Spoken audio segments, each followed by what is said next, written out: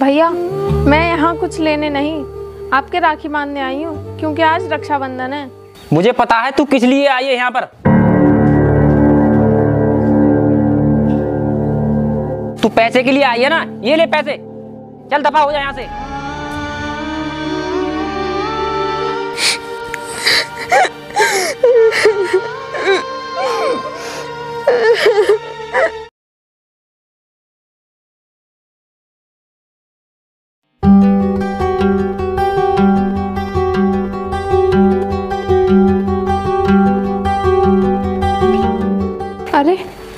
पास तो पैसे ही नहीं है। अब मैं बुक कैसे लूँगी? ऐसा करती हूँ छोटे भाई से पूछ कर देख लेती हूँ। राज! ओ राज! हाँ दीदी। भाई मेरे पास बुक्स के लिए पैसे नहीं है। अगर तेरे पास हो तो दे दे। नहीं दीदी मेरे पास पैसे नहीं है। बड़े भैया बैठे हैं आप उनसे जाकर ले लो। ठीक है छोटे।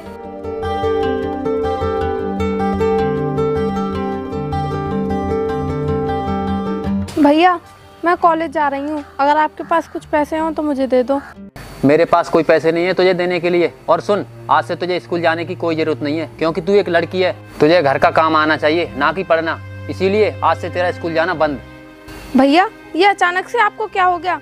माँ के सामने तो आप मुझे पैसे भी दिया करते थे और मेरी पढ़ाई के लिए मुझे सपोर्ट भी किया करते थे। अब अचानक से आपको क्या हो गया जो मुझे पढ़ने के लिए मना कर रहे हो? सुन जब माँ ज़िंदा थी तब पिताजी की पेंशन के पैसे हमें मिलते थे तभी उनसे खर्चा होता था। अब तो मेरे पास ही पैसे नहीं है तुझे कहाँ से दे दूँ? इसका मतलब आप माँ के सामने जो प्यार दिखाते थे और जो वादे करते थे कि बहन मैं तेरा हमेशा साथ दूँगा वो सब एक दिखावा था? तू चाहे कुछ भी समझ लेकिन तू आज से कॉलेज नहीं जाएगी और इसे दिखा।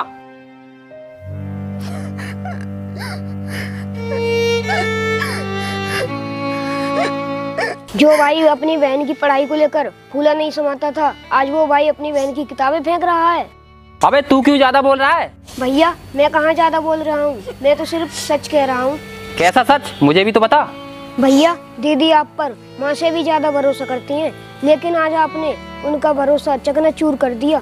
तू ऐसे ही चुप हो जाएगा या पीटना पड़ेगा? और तू सुन अगर इस घर में रहेगी तो तुझे पढ़ाई बंद करनी पड़ेगी। इसीलिए ये पढ़ना लिखना छोड़ और घर के काम काज सीख। भैया मैं सब कुछ जानती तो हूँ फिर मुझे क्या ज़रूरत है काम सीखने की? क्योंकि तू एक लड़की है तुझे घर के काम अच्छे से आने चाहिए क्योंकि आगे चलकर तेरे ही काम आएँगे। भैया अब जो चाहे मुझसे करवा लेना लेकिन मैं अपनी पढ़ाई बंद नहीं करूँगी। तू अपनी पढ़ाई बंद नहीं करेगी तो निकल जा इस घर से। जब खुद कमा कर खर्च करेगी ना तब पता पड़ेगा। भैया अगर दीदी पढ़ना चाहती है तो पढ़ने दो ना घर से क्यों निकाल रहे हो? जो इस घर में मेरी बात नहीं मानेगा वो इस घर में नहीं रह सकता। अगर इसके जाने से तुझे भी दर्द हो रहा है तो तू भी जा सकता है। भैया अगर आप यही चाहते हो तो कोई बात नहीं मैं भी जा रहा हूँ। चलो दीदी मैं तुम्हारे साथ हूँ। भैया मैंने कभी ख्वाब में भी नहीं सोचा था कि आप इतने घटिया निकलोगे। चल छोटे।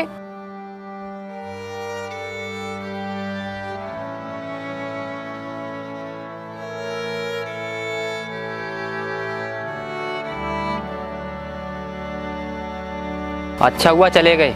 अब माँ के बीमा के पैसे मुझे ही मिलेंगे।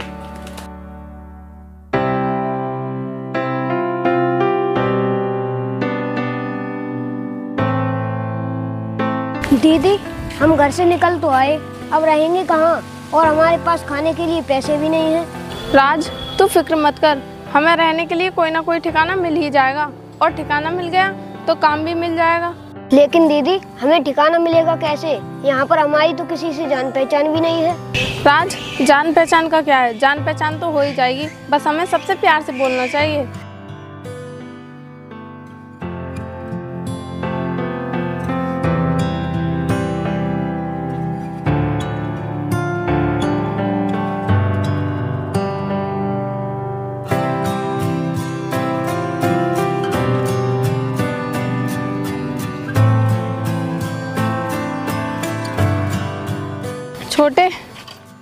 क्या करें?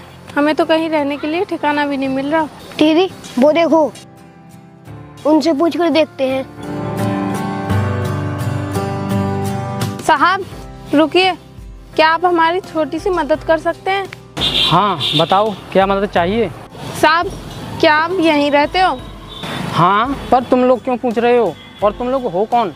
साहब मेरा नाम रीना है और ये मेरा छोटा भाई है। हम लोग यहाँ पर रहने के लिए जगह ढूंढ रहे हैं। अगर आपकी नज़र में कोई जगह हो तो बता दीजिए। देखो जगह तो है लेकिन तुम लोगों को ऐसे मिलेगी नहीं। अगर तुम्हारी किसी से जान पहचान हो तो उसे बुला लो तो मिल भी सकती है।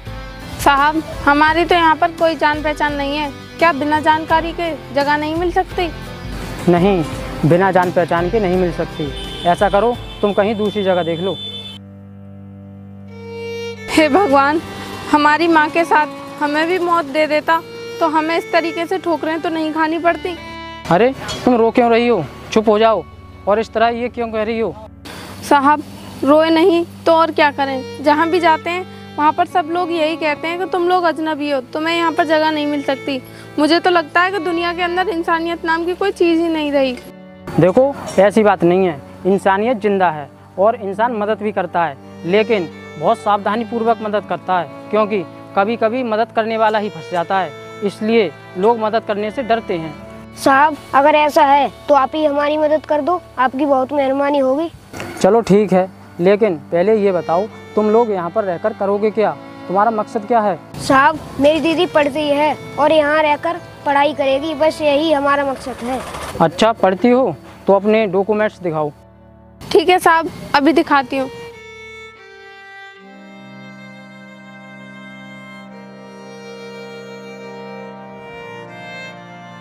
ये लो साहब मेरे सारे डॉक्यूमेंट्स इसके अंदर हैं। तुम्हारी परसेंटेज तो बहुत अच्छी है लेकिन यहाँ क्यों आई हो? अपने घर रहकर भी तो पढ़ सकती हो वहाँ से क्या दिक्कत है? साहब दिक्कत ना होती तो हम यहाँ क्यों आते? आप हमारी परेशानी तो समझिए। क्या परेशानी है ऐसी? बताओ।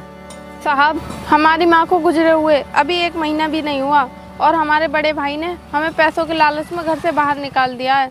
अब ना हमारे पास रहने को ठिकाना है, ना खाने को खाना। अरे, ये तो तुम्हारे साथ बहुत बड़ी नाइंसाफ़ी हुई है। लेकिन तुम चिंता मत करो, भगवान इंसाफ सबके साथ करता है। चलो, मैं तुम्हें रहने के लिए जगह दिखा दूँ।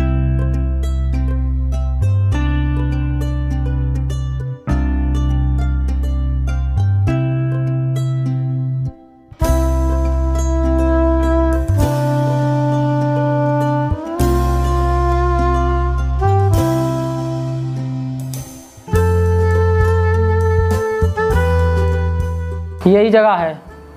अगर तुम चाहो तो यहाँ आराम से रह सकती हो। क्या ये जगह आपकी है? हाँ मैं यहीं पर रहता हूँ। ठीक है साहब हम रह लेंगे। ठीक है। अब मैं काम पर जा रहा हूँ नहीं तो लेट हो जाऊँगा। ठीक है?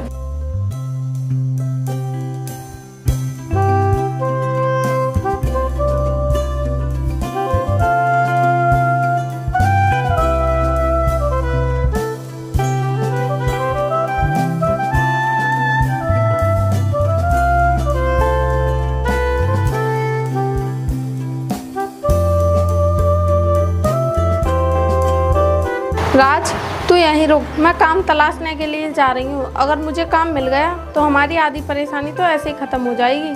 ठीक है दीदी। जल्दी आने की कोशिश करना। मेरा यहाँ पर मन नहीं लगेगा। या फिर मुझे भी साथ ले चलो। नहीं राज अभी मुझे ही जाने दे।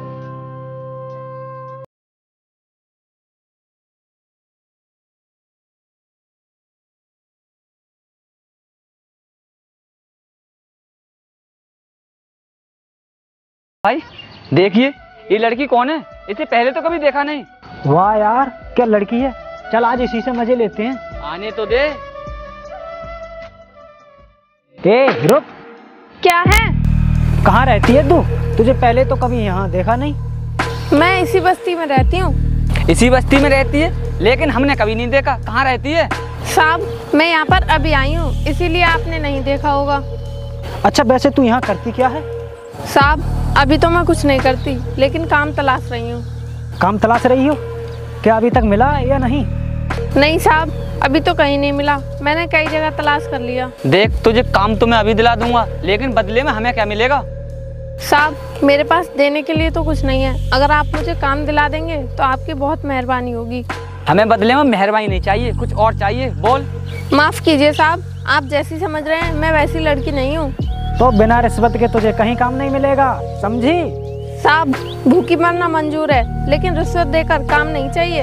अरे हम तो तेरी मदद करना चाहते हैं और तू हमसे उल्टी चल रही है। साहब मैं जा रही हूँ मुझे आपकी मदद नहीं चाहिए। सुन अगर तू हमारी बात मानेगी तो रहने के लिए ठिकाना भी मिलेगा और तुझे काम भी मिलेगा।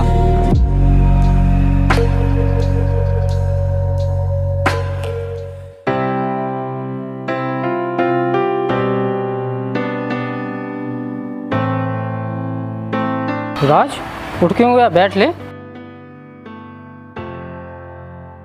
साहब आपको दीदी नहीं मिली? नहीं मुझे तो नहीं मिली। कहाँ गई है वो? साहब दीदी काम तलाशने के लिए गई लेकिन अभी तक आई नहीं काफ़ी देर हो गई।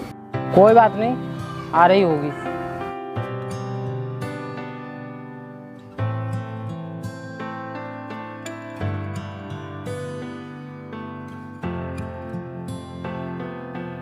दीदी आपको काम मिल गया क्या? नहीं राज बिना जानकारी के यहाँ पर कोई काम नहीं दे रहा। वैसे तुम काम देखने गई किधर थी? कहीं नहीं बस इसी बस्ती तक गई थी। तुम्हें यहाँ काम कहाँ मिल जाता? क्योंकि इस बस्ती में तो गरीब मजदूर ही रहते हैं फिर तुम्हें काम कौन देता? साहब आपको तो सब जानते होंगे यहाँ पर आप ही काम दिलवा दो। ठीक है पहले ये बताओ कि तुम काम क्या कर लोगी? साहब मैं कोई भी काम कर लूँगी। देखो अगर तुम करना चाहो तो तुम्हें मजदूरी मिल सकती है। हाँ साहब मैं मजदूरी भी कर लूँगी। ठीक है कल मेरे साथ चलना तुम। ठीक है साहब।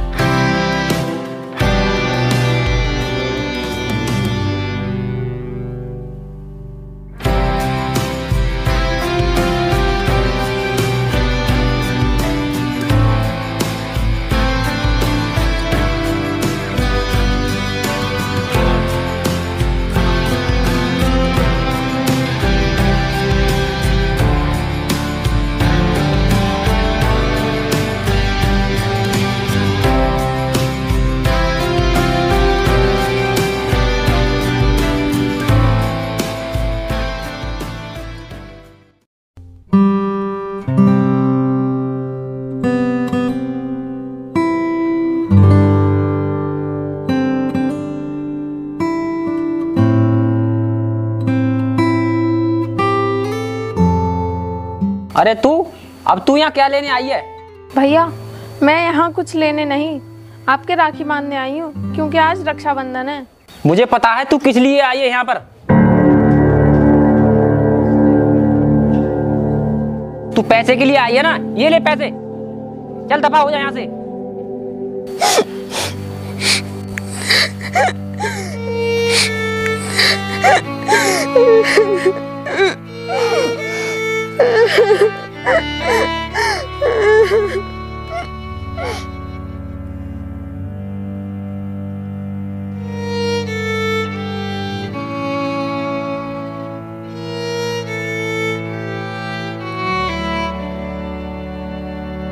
अरे रीना कहाँ से आई हो? और इतनी उदास क्यों हो? मैं अपने घर बड़े भाई के राखी बांधने गई थी। लेकिन राखी बंधवाना तो दूर उन्होंने तो मुझे जलील करके घर से बाहर निकाल दिया। अरे तो तुम रो क्यों रही हो? तुमने तो अपना फ़र्ज़ निभाया ना।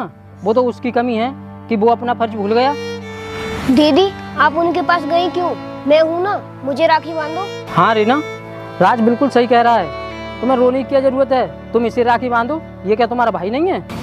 आप बिल्कुल सही कह रहे हो। मुझे उनके पास जाना ही नहीं चाहिए था। जो मेरा भाई है, वो मेरे साथ है। भाई, तू यहीं रुक। मैं अभी आती हूँ।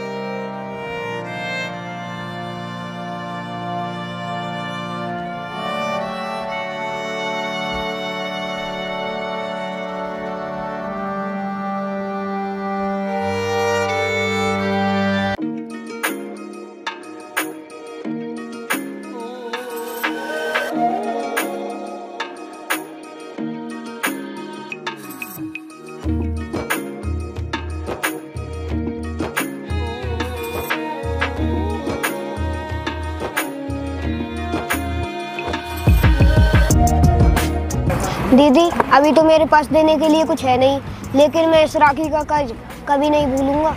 भाई मुझे सिर्फ़ तेरा साथ चाहिए मेरे लिए यही बहुत है।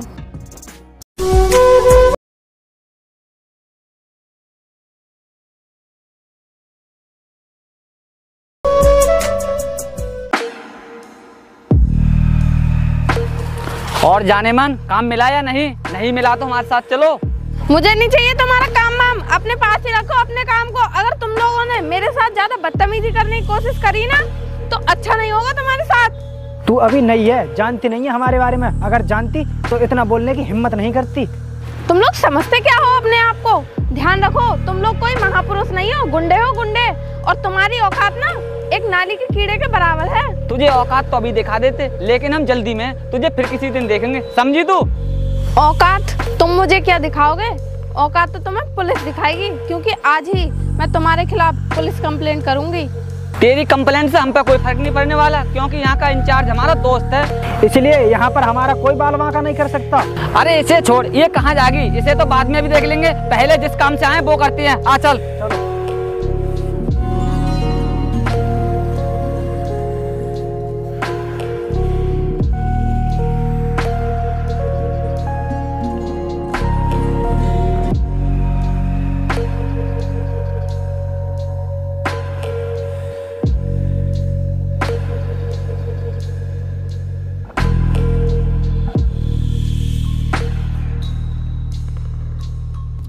अरे रीना पढ़ाई कर रही हो? काम पर नहीं जाओगी क्या?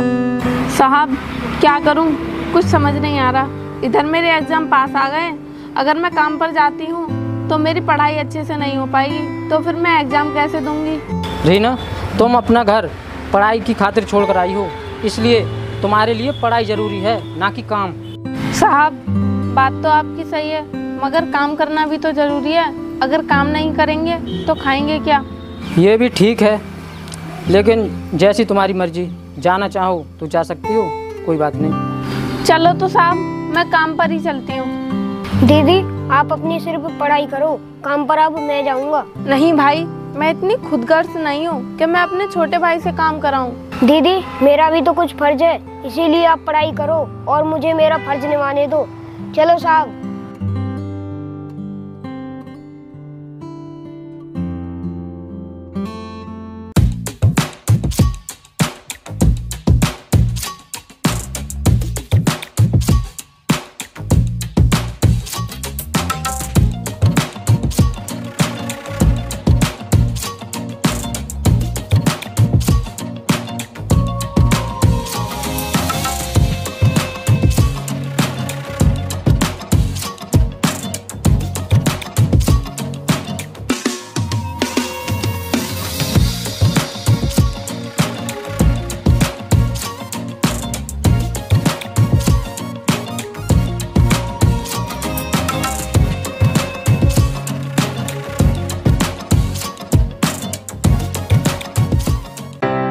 राज तेरी हिम्मत का भी जवाब नहीं। तू वाकई बहादुर बच्चा है। नहीं तो आजकल के बच्चे जरा सा काम नहीं करते और तू अपनी दीदी के खातिर मजदूरी करने जाता है। ये बहुत बड़ी बात है।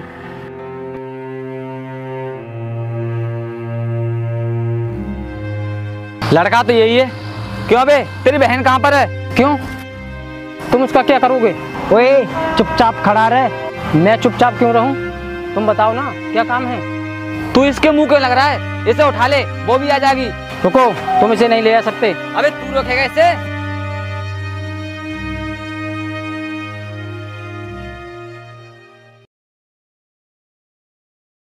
अबे यार इसकी बहन इसे लेने आएगी या नहीं?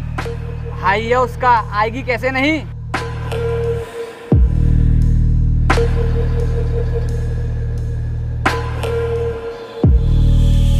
ले देख आ गई। आओ हमें तुम्हारा ही इंतज़ार था। मैं तो आ गई पर तुम लोग ये बताओ मेरे भाई को यहाँ पर क्यों लेके आए हो? अरे तेरे भाई को क्या? हम तो तुझे भी ले आते लेकिन तू मिली तो नहीं। लेकिन क्यों? मुझसे आप लोगों की क्या दुश्मनी है?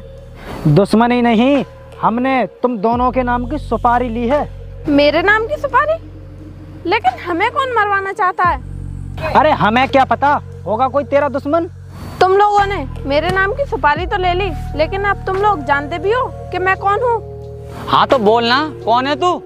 मैं एक आईएएस ऑफिसर हूँ और तुमने मेरे नाम की सुपारी ली है। अब पता है तुम लोगों को तुम्हारे साथ क्या होगा? मैडम हमें माफ़ कर दीजिए। हमें पता नहीं था कि आप कौन हो। नहीं तो हम ऐसी गलती कभी नहीं करते। पहले गलती करते हो और फिर माफ़ी मांगते हो? तुम्हें माफ़ी नहीं जेल मिलेगी जेल। रुको। इन लोगों से ये पूछो कि सुपारी दी किसने? बोलते हो या और पीटूं? रुकिए मैडम हम अभी बुलाते हैं।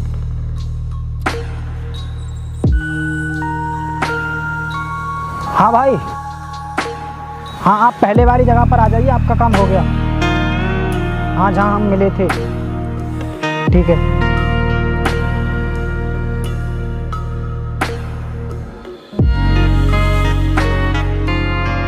मैडम वो आ गया।